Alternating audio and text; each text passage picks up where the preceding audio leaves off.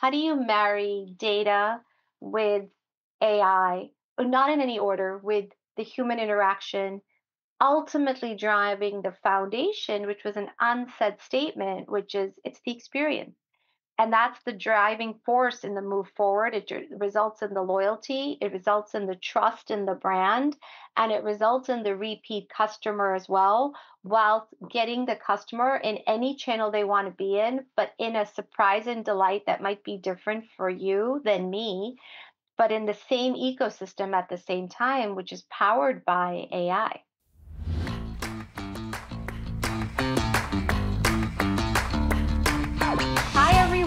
Um, you have Ruchi and myself here. We'll spend a minute introducing ourselves. We're so excited to share with you some of our takeaways from Dreamforce. We were there this week, excited to what we've heard and learned, and just really looking. You you get to have a glimpse and a dialogue, a typical day with Ruchi and Mamta today. So, Ruchi, do you want to take a minute and introduce yourself, and then I'll do the same, and then we can jump in. Absolutely, Mamta. I share your entire excitement and passion. I'm Ruchi Gupta. I lead the Global Business Services go to market strategy at TP and have been in the BPM industry for 25 years. Uh, I participated in the Dreamforce sessions for the past three days. Uh, in fact, I was listening to some sessions even now. Super, super insightful. In fact, Dreamforce has been on my bucket list for ages, so I enjoyed the discussions. I feel the same. So, hi everyone. I'm Mamta Rodrigues. I'm the Global Chief Client Officer for Banking, Financial Services, and Insurance here at TP. Um, I echo Ruchi's sentiments, um, and you know, and, and in addition, wanted to say that it, I'm humbled to be here um, and talking to all of you of what we've heard, learned, and also connected the dots for um, you know for our own takeaways as well. It leaves me excited to where we are. So before no no teasers here, but let's jump in. Um, Ruchi, if I can ask you a question, what was your biggest takeaway um, from Dreamforce? And I know you're still listening to and engaging in the sessions today. And what moment or session really made you see how AI is reshaping the balance between technology, people, and customer experience? Mamta, thank you so much. That's, uh, you know, like I said, Dreamforce has been on my bucket list for ages the sessions and customer stories were really eye opening. So I actually attended the entire keynote speak as well. Uh, I didn't get a chance to take a selfie with the robo though. I believe a lot of folks did that there. I think when you look at it, it's really wild to think just about a year ago, most of the buzz was about AI in general.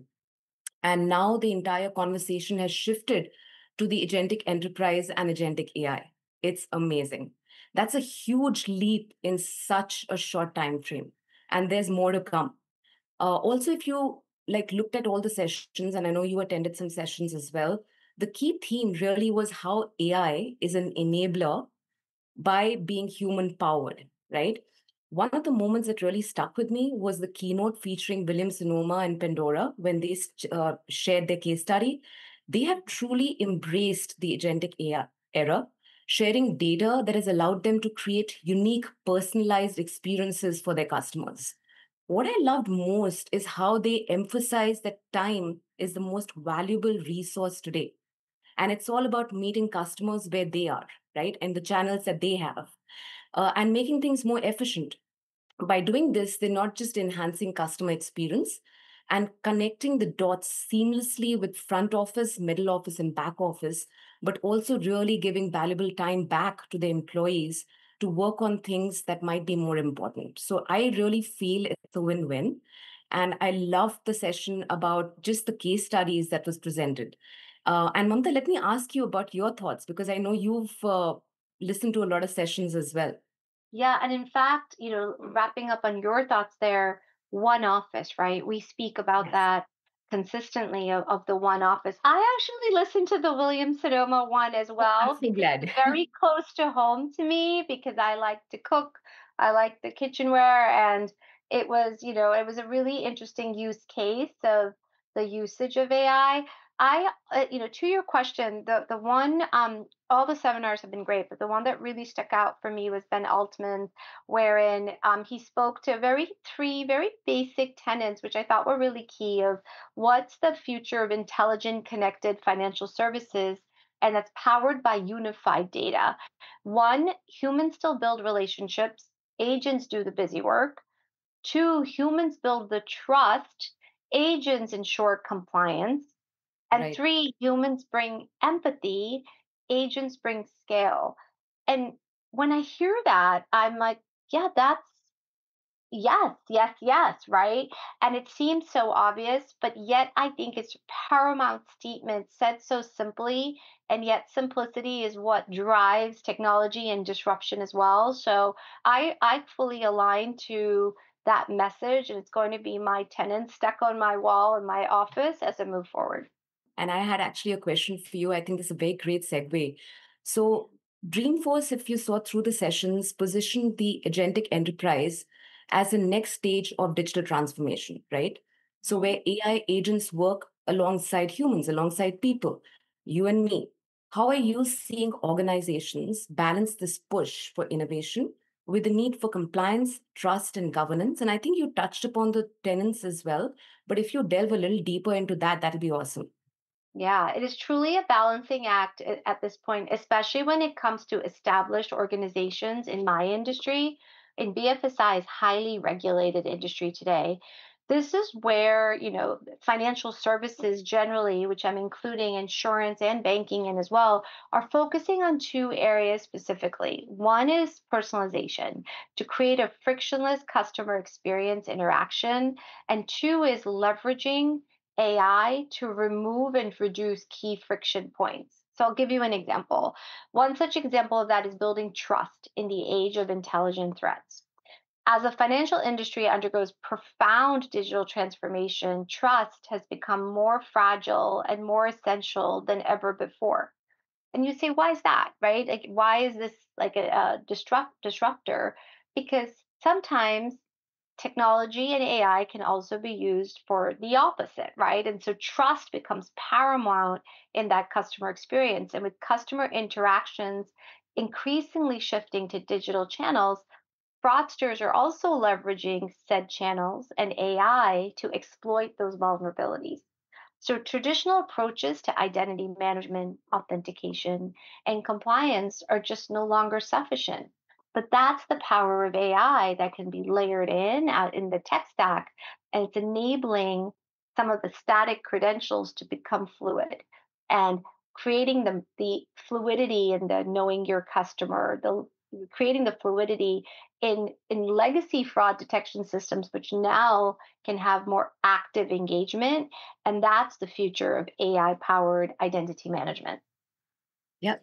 So, Mamta, that's such a key takeaway from the discussions that was, you know, the agentic AI empowering customer journeys.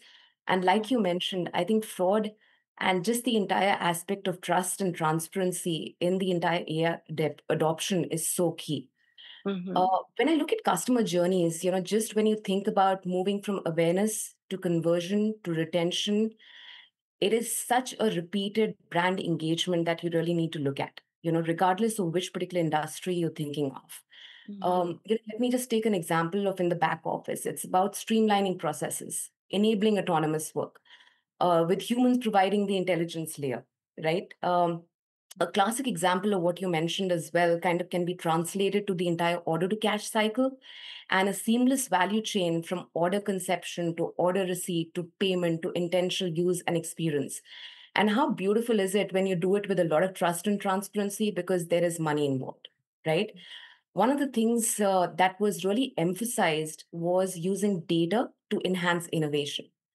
Customer insights from you know they spoke about data 360 supporting personalized experiences like you mentioned targeted messages product suggestions across platforms. Um, in fact when you saw one of the case studies there was a customer let's call her julie right revisits the sites agents reviews her past activity to provide relevant support now, such data driven approaches turn marketing into a very dynamic intervention or a conversation, rather, underscoring the value of human centered innovation in today's digital era. Um, AI compliance, trust, governance are relevant to any new technology. I'm sure the policies will continue to evolve as they look at AI ethics. And I think most of the organizations that spoke about their case studies were very mindful of deploying AI responsibly. Um, I attended a dream pitch today, AI for Earth's Future, where entrepreneurs showcase solutions using AI for community and environmental benefits. And they were judged on three things, which are very, very pivotal to leaders, right? One, innovation. The mm-hmm. second very key element, scalability. And the third one, impact. Uh, this key pitch was done by Gentian, focused on biodiversity and nature, was done by Voltaire AI, where they spoke about cold chain infrastructure, which was very unique. And then Tersa's Earth efforts to improve clean water access, which we know is such an issue in some of the developing countries. So it's just inspiring to see AI's growing influence in our communities. And I think the entire aspect of compliance, trust, and governance will is already there, but will get more robust, I feel. I agree. I absolutely agree. So I have a question for you, Ruchi. So we've been seeing, and you've alluded to some inspiring examples, not only in the, the usual workplace, but also what we're doing from a sustainability perspective and really improving our environment perspective. From A to X to Z, we've seen a lot and using agentic AI to reduce the friction and personalize those experiences. Beyond what you just described, what else do you see standing out to you as the most tangible examples of AI and what are they delivering for as measurable business impact? So, you know, I spoke about the, thank you so much for that question, uh, Mamta, because I think everybody forgets that, you know, you deploy AI, but you also have to measure it, right? And yeah. measure it tangibly with a business outcome. I'm just going to go back to Williams Sonoma and Pandora because those case examples really stuck with me quite a bit. And they showcased how data is used effectively to create, create those personalized experiences for a very valued customer experience. And I emphasize value being the key uh, like I said, from awareness to conversion to retention. I think very simply put, and I would love your thoughts as well, you know, they are very tied to tangible business impact, impacting financial outcomes. So either it's revenue, uh, mm-hmm. or Williams Sonoma talks about time and value of time, so productivity gains. Uh, she speaks about the effort, right, that you take in terms of any particular um, workflow that you're maintaining.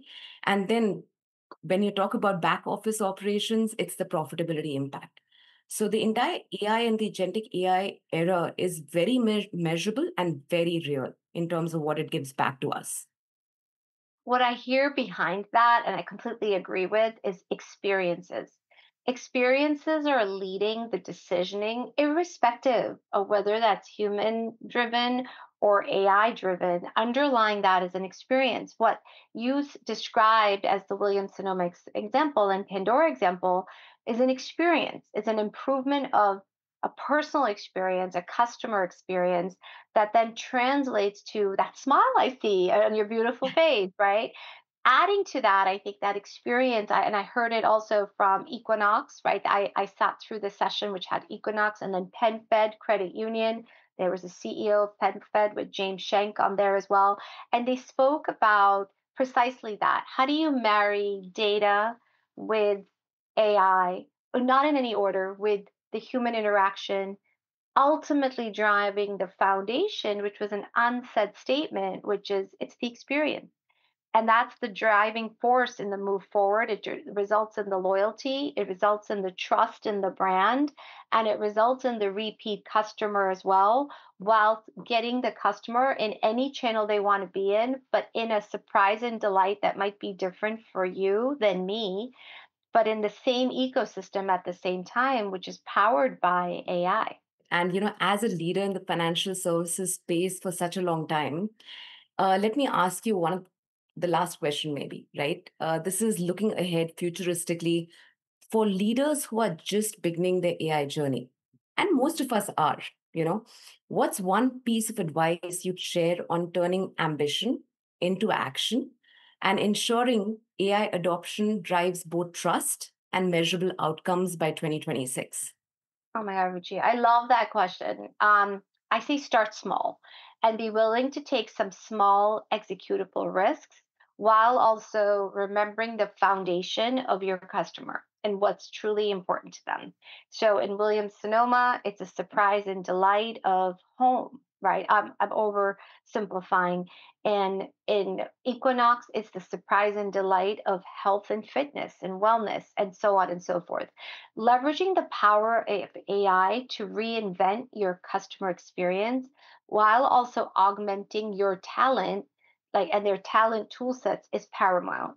Um, it's also important to partner with leaders. There's so many, so many AI leaders, so many capabilities that are out there but one thing that was really loud for me at, at Dreamforce, but even more so just generally in this space, is be prudent and smart with the leaders you partner with and engage in and that have engagement in your sector because like you said we're all learning we're all early days and we're going to learn from one another and we'll learn in that disruption together so those small executable steps will result to fast pivots and will result to the successes that reap the results that we're looking for Mamta, I totally agree with you. And I do believe we heard very clearly through the conversation today, you know, that the AI adoption will increase incrementally.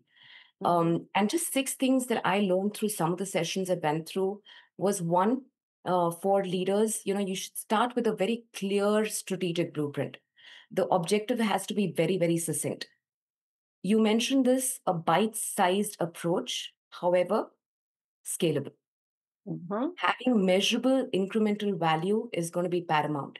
And you need to ensure that that measurable impact is a business impact. Investment in data readiness, so reliability of data, the trust in data. And one thing I think a lot of us still remember, and I'm glad we do, that people are the most important.